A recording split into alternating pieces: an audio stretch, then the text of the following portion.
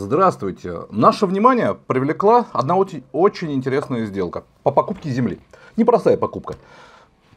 Сейчас расскажу, в чем дело. Она рядом с аэропортом Домодедово. Но даже не это самое главное, хотя это тоже интересно, это, этим мы потом займемся.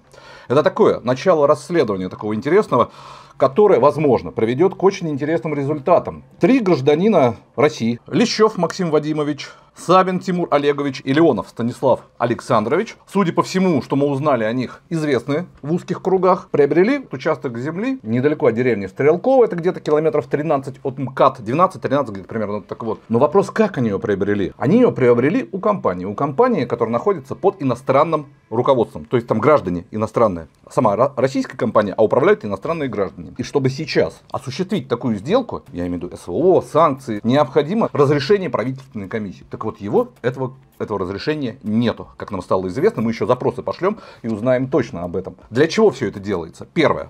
Уйти, ну не платить в бюджет. Потому что если эту комиссию обойти, а тут, по идее, нарушение закона, потому что они не должны ее обойти, потому что, еще раз повторюсь, иностранные граждане владеют этой компанией э, э, российской, то нужно заплатить в бюджет. Понятно. Земля, Подмосковье, недешевая. Немножечко копеечку, вторую себе в карман не, не уплатить государству. Это земля, которая не под дачу, купленная, по нашей информации. Сейчас там склады. Что там складируется?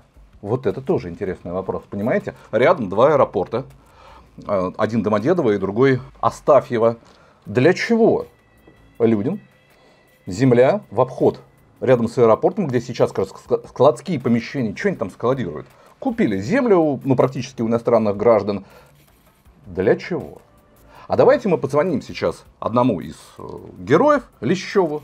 Алло. Алло. Добрый день. Да. А Максим Вадимович я могу слышать? Да, да, да. Да, здравствуйте. Меня Евгений зовут. Я редактор «Момент истины». У нас в редакции появилась такая информация, что вы купили землю еще рядом с деревней Стрелково, это Подольский район. И якобы там было нарушение э, в обход комиссии правительственной, которая должна давать, давать разрешение на покупку подобной земли. Потому что она принадлежит хоть российской компании, но эта российская компания контролируется иностранными гражданами. Вы можете как-то прокомментировать это? Понятия не имею, чем вы. То есть вообще, то есть такого не было? У нас чисто пушистое, какую-то странную историю вы говорите. А вы к компании Нерль имеете какое-то отношение? Никакой. Вообще, да? Ага, Вообще просто в интернете так много всякой информации про вас не, ну, и про Нерль. В 2005 году там три месяца работал, но это был 2005 год. Угу. Значит, а Савин такого... Тимур Олегович вам известен? Леонов Станислав? А кто, извините, пожалуйста? Евгений, главный редактор «Момент истины». Евгений Гнеушев. Я вам все расскажу об этом участке, только давайте потом попозже на встречу, ладно? Хорошо, хорошо. Угу, спасибо. Да. В общем, все очень запутано. Вроде участок есть, рассказать он хочет, но не сейчас. В общем, все очень странно. Давайте позвоним сейчас Савину Тимуру Олеговичу. Алло. Алло. Да. да, добрый день. А можно Тимур Олеговича услышать? Можно. Савина. Слушаю. Да, меня зовут Евгений Гнеушев, я главный редактор «Момент истины». Вот у нас появилась информация, да, что вы вместе с партнерами купили землю около деревни Стрелкова. Вы ее купили у компании российской, но которая принадлежит иностранным гражданам. И якобы, как у нас есть информация, вы обошли вот правительственную комиссию, которая должна была давать разрешение на покупку этой земли. Так. Вы можете как-то прокомментировать, было такое?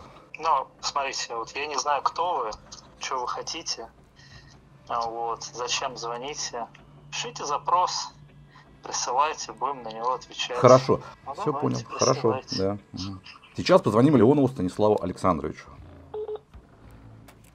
Ну вот такая ситуация, вот такая ситуация, понимаете, очень, очень странно. Максим Вадимович вот хочет нам объяснить, только потом Станислав Александрович говорит, пишите запрос, все ответим на все вопросы и понять его можно. А Станислав Александрович не взял трубку. Ну что ж, мы будем разбираться, действительно, что это такое. Это какая-то бизнес-схема или это что-то другое, или это что-то большее. В общем, ждите наше новое расследование по поводу, как продается и кому продается земля в Подмосковье. До свидания.